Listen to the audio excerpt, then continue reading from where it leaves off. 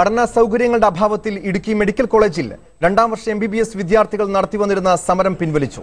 സംസ്ഥാനത്തെ മറ്റ് മെഡിക്കൽ കോളേജുകൾക്ക് വിദ്യാർത്ഥികളെ മാറ്റുമെന്ന് സർക്കാർ വ്യക്തമാക്കിയ സാഹചര്യത്തിലാണ് സമരം അവസാനിപ്പിച്ചത്. വിശദാംശങ്ങൾ വൈശാഖ് കോമാട്ടിൽ നൽകും.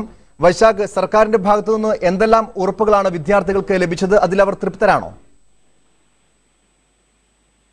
തീർച്ചയായും ടോം ഇപ്പോൾ ഇവർക്ക് വിദ്യാർത്ഥികൾക്ക് ലഭിച്ചിരിക്കുന്ന നിർദ്ദേശം എന്ന് പറയുന്നത് അവിടെ ഉണ്ടായിരുന്ന നാൽപ്പത് രണ്ടാം വർഷ എം ബി ബി എസ് വിദ്യാർത്ഥികളെ നാൽപ്പത്തൊമ്പത് പേരെ സംസ്ഥാനത്തെ അഞ്ച് മെഡിക്കൽ കോളേജിലേക്ക് മാറ്റും. തിരുവനന്തപുരത്തേക്ക് പതിനെട്ട് പേരായിരിക്കും. കൂടാതെ കോഴിക്കോട്ടേക്ക് പത്ത് പേരും ആലപ്പുഴ മെഡിക്കൽ കോളേജിലേക്ക് കോട്ടയത്തേക്കും എട്ട് എട്ട് പേർ വീതവും പോകും.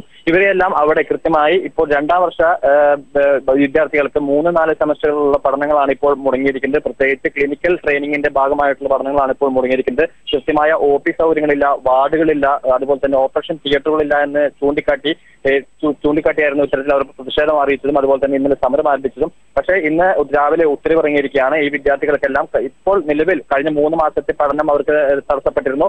അത് ഉൾപ്പെടെ പുനഃസ്ഥാപിച്ചുകൊണ്ട് അവർക്ക് കൃത്യമായ പാഠങ്ങൾ പറഞ്ഞു കൊടുക്കും അഞ്ച് മെഡിക്കൽ കോളേജിൽ എത്തി അവർക്ക് കൃത്യമായ പാഠങ്ങൾ നൽകും.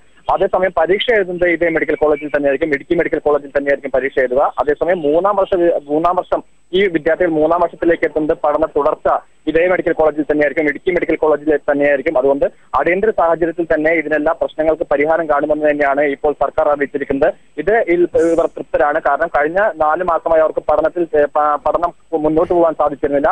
ഈ പ്രശ്നങ്ങളെല്ലാം ഈ പുതിയ മെഡിക്കൽ കോളേജിൽ എത്തുന്നതോടെ പരിഹരിക്കപ്പെടുമെന്നാണ് ഇപ്പോൾ ഇവർക്ക് ലഭിച്ചിരിക്കുന്ന ഉറപ്പ്. അതേസമയം ഇവിടെ ഹോസ്റ്റൽ സൗകര്യം ഇവർ ഏത് തരത്തിലായിരിക്കും അവിടെ പഠനം തുടരുക എന്നുള്ള കാര്യങ്ങളും വ്യക്തത വന്നിട്ടില്ല. എന്നാലും ഇവർ തൃപ്തർ തന്നെയാണ്. കാരണം ഇവിടെ നിന്ന് മാറി അവരുടെ പഠനം തുടരാൻ സാധിക്കുമെന്ന ഒരു ഉറപ്പ് തന്നെയാണ് ഇപ്പോൾ സർക്കാർ നൽകിയിരിക്കുന്നത്. ഇത് ഇതേ പ്രതീക്ഷയോടെ തന്നെയാണ് ഇപ്പോൾ ഇവർ സമരത്തിൽ പിന്മാറിയിരിക്കുന്നത് നിലവിൽ അനിശ്ചിതകാലത്തേക്ക് ഇന്നലെ തുടർ തുടങ്ങിയ സമരം ഇപ്പോൾ പിൻവലിച്ചിരിക്കുന്നു. അവർ സർക്കാരിന്റെ ഈ നിർദ്ദേശം ഈ ഉത്തരവിനോട് അവർ പൂർണമായും സമ്മതം അറിയിച്ചിട്ടുണ്ട്. അവർ സമരത്തിൽ നിന്ന് ഇപ്പോൾ നിലവിൽ പിന്മാറി